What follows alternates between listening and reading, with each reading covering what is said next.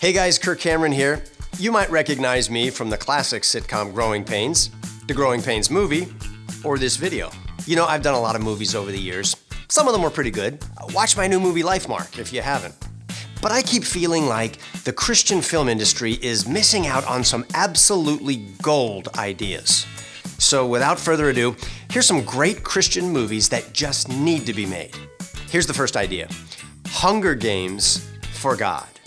In this movie, teams from several districts are sent to fight in a Bible trivia contest to the death.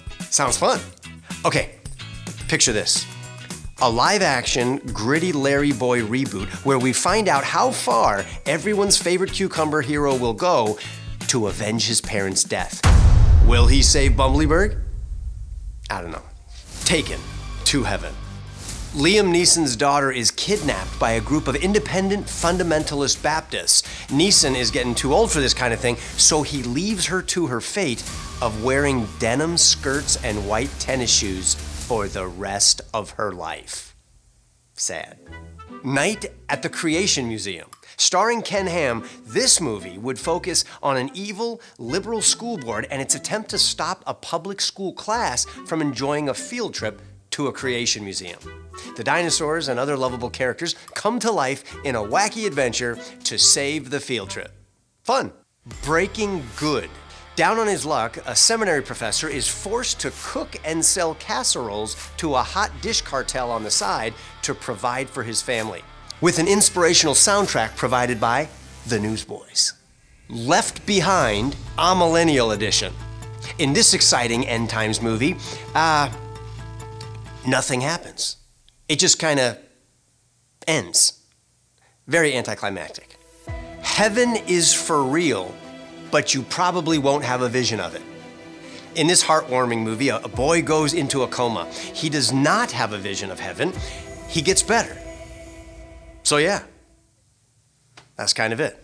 Spider Man, but Christian. Top Gun, but Christian. Once Upon a Time in Hollywood, but Christian. I don't know, I'm just spitballing here.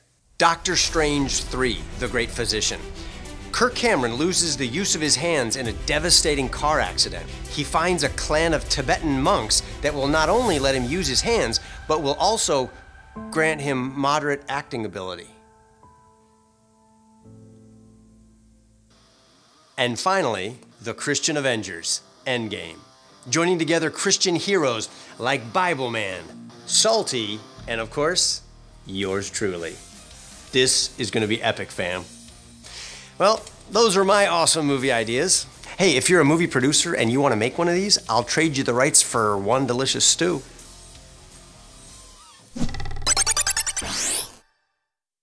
Here's a really exciting one. From Seaver to Believer, a Kirk Cameron biopic starring Kevin Sorbo.